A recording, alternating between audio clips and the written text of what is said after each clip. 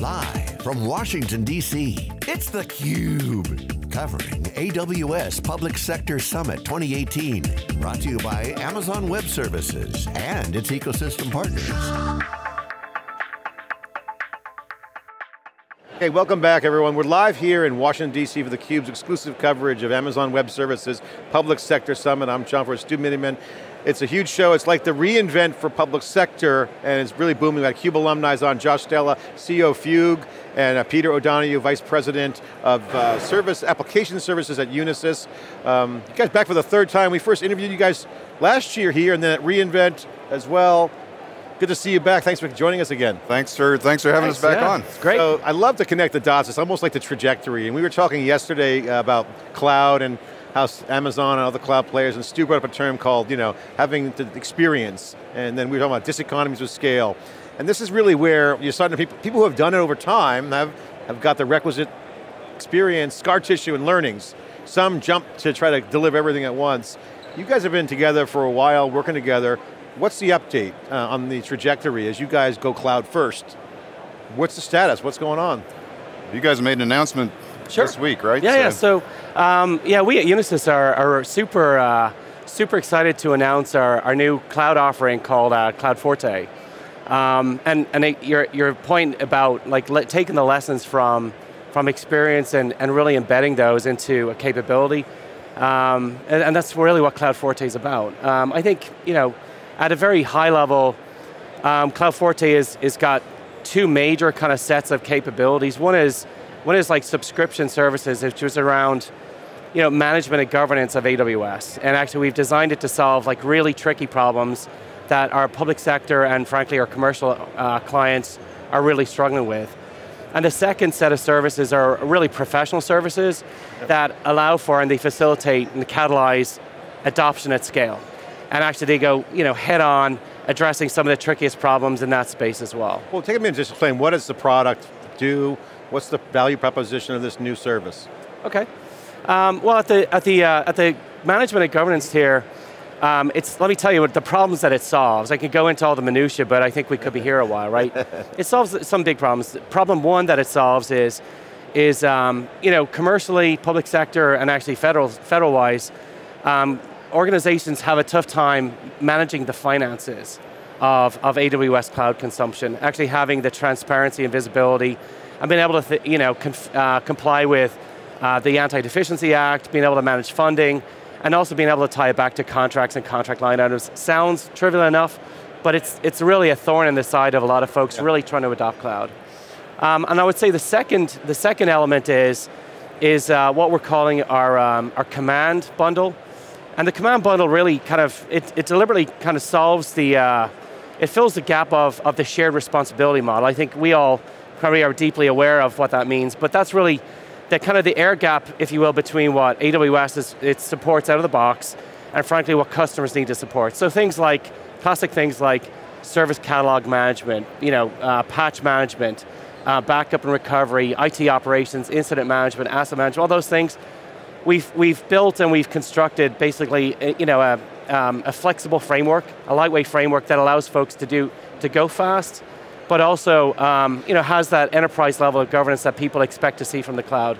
And one of the key, the key elements of our command bundle is, is what Josh's organization provides, is, is the, the Fugue policy engine. So we find that in order to provide cloud, it's really important to be able to have those guardrails, to provide basically a nanny-like supervisor to make sure that, that what's deployed is compliant, and actually what's deployed and what's running in production actually stays compliant with security policy. So that's really what Command is all about. Josh, talk about what's under the hood. We, have had a lot of conversation around policy and automation. Okay, it's third year in to yep. our conversations. What's going on under the hood? What's happening with the things that you guys are doing with Unisys? Yeah, so uh, when we last talked, uh, they hadn't announced this yet, so we couldn't quite explain what we were working on together. But uh, we're working with Unisys and, and other organizations to provide that full uh, automation of the entire infrastructure layer and it's just, uh, it's fire and forget infrastructure on cloud. And so one of the things we're seeing consistently is people are, are really starting to struggle, the market's really maturing around the need to fully automate remediation of problems, detection and remediation, where the old model of uh, you know, use a monitoring solution, throws a ticket over the wall, Yeah. uh, search through the pile of tickets. You might have hours, days, weeks where you're exposed and your data leaks, and Fugue fixes that in under a minute. Yeah. So that's what we've been working on together, and we love the partnership because Unisys has the experience and the engagement on the federal side of the market, and Fugue is baked in to just uh, provide all that, that What's goodness. the impact of that? So, I mean, because you compared kind of the old way to the, the new way that you guys are doing. Just kind of give some, you know, categorical or anecdotal color behind what the impact is from that. what's, Sure, it, what's I'll- it do? Saves people's lives. I mean, saves time, money. What's the what's the impact? Well, yeah, I'll tell you the impact and I'll describe a use case. So we're working uh, with uh, another customer and they came to us and said, uh, in our hosted environments on AWS, we have over 500 events a day where configuration has drifted. And every one of those, we have to investigate, we have to come up with a plan, then we have to execute the plan, then we have to write a report on how it will never happen again, 500 a day. Uh, so with Fugue, every one of those just is automatically fixed and reported within about 30 seconds to a minute. So the impact of this is a team of three completely overwhelmed folks Yeah. who were looking to hire 10 people to try to be, as their cloud presence grew, they just had to staff a larger and larger, you know, cloud services desk. Yeah. Uh, actually, the three people they have are now on to doing other work because it's just automated. Right. Yeah. So, P- awesome. Peter, you, you know, help connect the dots for us for, for uh, the, your customers on the federal side because we know there's been pushback. Customers sometimes, oh, well, automation automation sounds great, but oh, wait, on the government side, I've got regulations, I've got processes, I've got you know hurdles that we might need to do. So, so how do we get get beyond those? Well, I think that's a great question, right? I would say that um, as you, uh, so as I was talking about the CloudForte offering set, there's, there's a set of offerings in the professional services domain too. We actually have um, an, our Accelerate bundle, right? Um, and actually one of the things that we, you know, we really believe is important as folks adopt cloud is, in order to, to leverage cloud most effectively, you really need a mind shift, right? So we have like two, two of the legs of our, of our offerings are, are around the org change management and kind of making that major transformation for human capital. And actually what really good looks like is, is folks who actually think cloud natively, right? So we find the most successful clients are folks who've, who've kind of made that leap, right? The, the other kind of dimension is, is around process and process change. And we see, you know, we see ITIL has been super effective and, and has been kind of a stalwart of enterprise IT for a long time. Uh, but we, we see that as folks move to the cloud, and one of the strong recommendations we make, and we have process offerings, is, is how do we renew my management, management and governance processes to actually embrace more DevOps thinking, and to embrace more everything as code-thinking, including policy.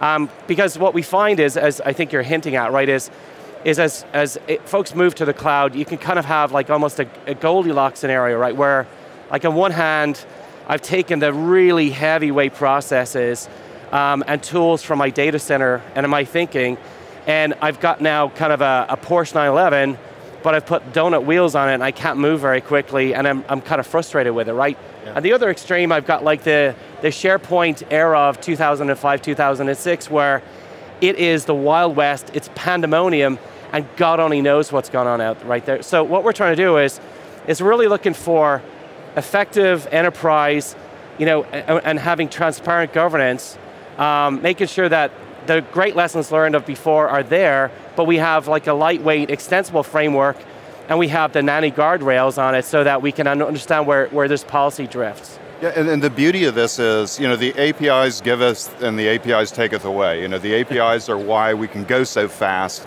but it's also why it's really easy to hurt yourself. Yeah. That's what Fugue is there for. We let you go just as fast, and we can show that all those processes, like in ITIL having a CMDB, that's a side effect of running Fugue. It, you can query Fugue and you've got your configuration So data. how you make them go fast, I get that, but how do you protect from breaking? What's, you, that's, the- what's the other half? Yeah, sure. So the, the Fugue approach, and, and Unisys are doing some other things on, on top of this, but, uh, but the Fugue approach is you cannot deploy something unless it is both correct and meets policy and compliance. So uh, Guardrails you're talking about. that's the guardrails. Yep. And unlike anything else, Fugue tells you exactly how you got it wrong, why, and how to fix it. So it's not just a, a, a big no at the end of the process. It's, hey, on line 47, Yeah. you're not allowed to have unencrypted volumes, so change that. uh, then once the infrastructure is provisioned, so it must be correct up front. Uh, once it's provisioned, Fugue will never let it drift again. So again, within 30 seconds to a minute, we've seen anything that's changed, we fix it. And, and what that means is, it is. To bring intelligence to it, you should fix it. And again, this is the, the this is why I love the automation, the whole cloud thing. You know, the, the non-believers don't understand the value of this. I, mean, I call them the cloud non-believers because this is just game changing. You mentioned the, the, the, point about the efficiency of people not having to bulk up manual labor to lock down, and it's just a, and just opens up so many security holes. Um, Peter, got to ask you. I put you on the spot here. What's it like now working with Fugue? You guys done a lot of work together. Um, what's the outcomes? Tell us about the experience and, and what is about their solution that really helps you out? Okay, sure. Um, well, I mean, I think I think you know the the the most obvious you know response there is is um, the fact that we've baked it in. It's part of the act. Uh, it's part of the solution. It's one of the core tenets and, and components within our command bundle. Uh, that of itself is is a is a major you know part of our strategy. What we're finding our customers, you know, we do find clients actually, you know, kind of, they kind of range in where they are in terms of uh, their cloud adoption.